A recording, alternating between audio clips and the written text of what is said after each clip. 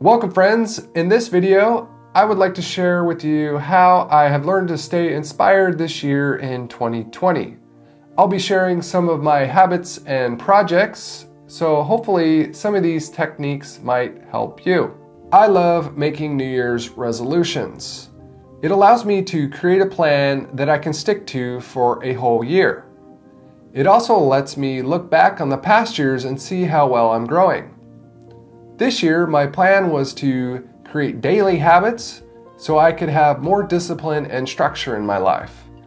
The discipline and structure would allow me to utilize my free time better to keep me from being a couch potato.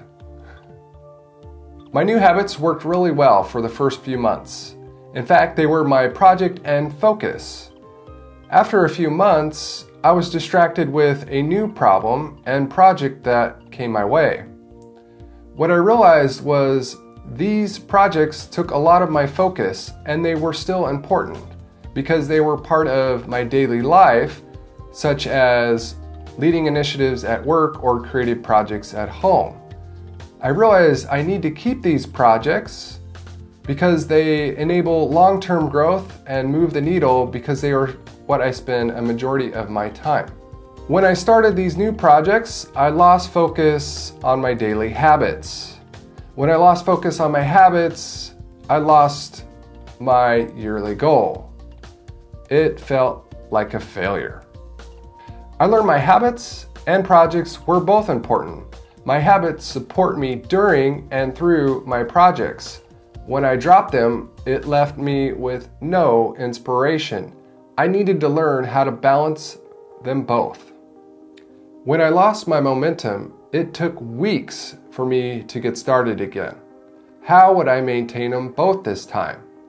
I had to learn which habits and projects were important according to my values, ones that would support me even during stressful times.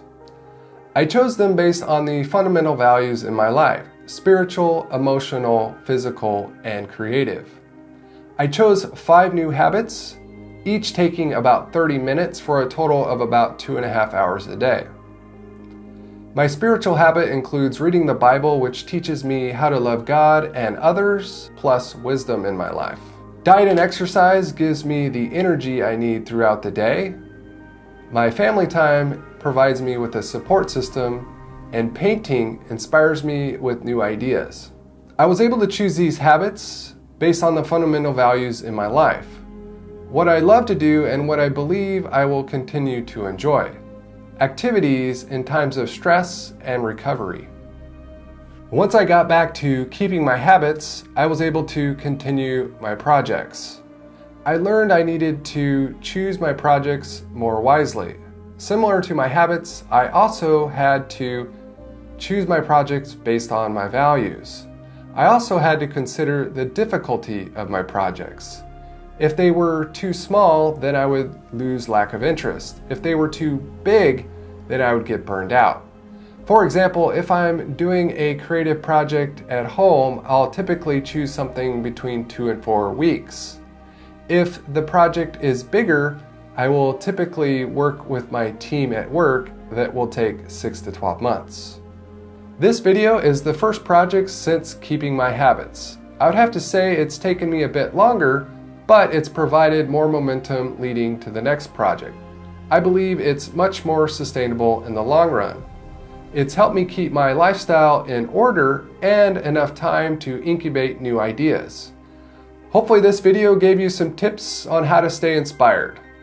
Let me know your comments on how you choose your habits and projects. I'll see you in the next video. God bless.